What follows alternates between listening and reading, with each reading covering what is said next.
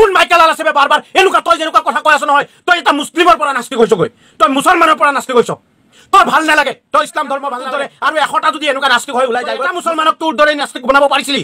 পৰা নাই? অন্তত তোৰ মা দেউতাককো বনাব পৰা নাই। তোৰ দেউতাৰ গাখীৰ কোনোবাই লয় নলয় এইটো তোৰ ব্যক্তিগত কথা। মানুহৰ ভাল লাগিলে গাখীৰত পানী মিলোৱা আছে চাগে তোৰ বাপেৰৰ গাখীৰত। তোৰ বাপেকৰ গাখীৰত নাস্তিকৰ গোন্ধ আছে চাগে মানুহে নল'ব পাৰে। মানুহৰ সন্দেহ সোমাইছে। তোৰ মা তোৰ দেউতাই তোক পোহপাল দিছে আজি কেইবছৰৰ পৰা। তোৰ যদি তোৰ মা দেউতাই যদি তোৰ ওপৰত শাসন কৰিলেহেঁতেন তে তই আজি দুই তিনিদিন আগত ক'লি যে মই গাঁও এৰি গুচি গৈছোঁ মুছলিম সমাজৰ পৰা। তেতিয়াহ'লে তই তোৰ মাকৰ ফেমিলিৰ লগত কেলে তই আজি ভিডিঅ' কৰি আছ? কেলে তই আজি ভিডিঅ' বনাই আছ? তই দূৰত গৈ পেলাই ভিডিঅ' কেলে বনোৱা নাই? বোলে মই খবৰ লৈছিলোঁ এতিয়া মোৰ মা দেউতাকৰ কাৰণে মা দেউতাকে কেতিয়া গাখীৰ বিক্ৰী কৰিব পৰা নাই মাছ বিক্ৰী কৰিব পৰা নাই। তই ঘৰত থকাৰ পিছত কোনে ল'ব? ভাই দে চা এটা কথা চা তই খালি মুছলমানক যে সমাজৰ মাজত যে লজ্জিত কৰি আছ কমেণ্টসমূহ যে পঢ়ি আছোঁ বেলেগ বেলেগ ধৰ্মাৱলম্বী মানুহবিলাকে যে মুছলমানক লৈ ঠাট্টা নিন্দা কৰি যে কমেণ্ট কৰি আছে তেওঁলোকেও জানে যে নিজ জাত নিজ জাতক হিন্দু ধৰ্মৰ মানুহে ঘৃণা কৰে বে। তই এতিয়া নিজ জাততকৈ নিকৃষ্ট। তই বৰ্তমান তোৰ মা দেউতাকৰ জাততকৈ বহুত তলত।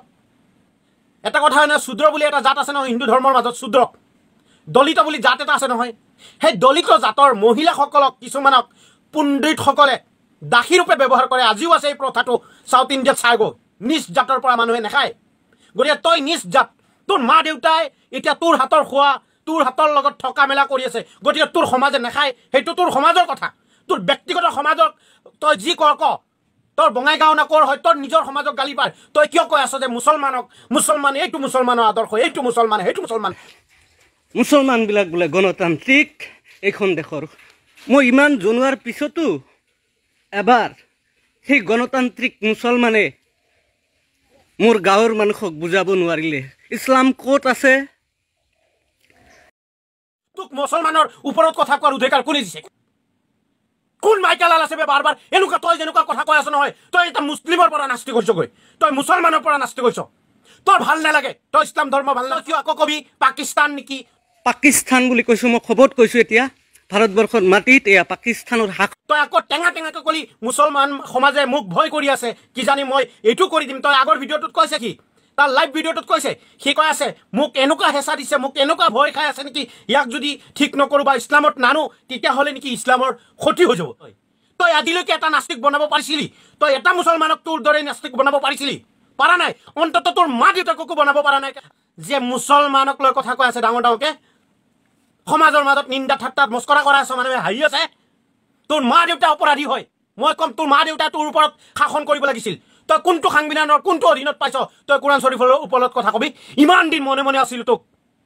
এতিয়া কিন্তু খাবাৰ সময় আহিছে তই।